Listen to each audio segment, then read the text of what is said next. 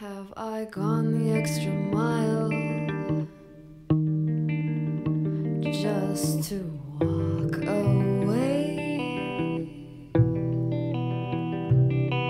Concealing with a smile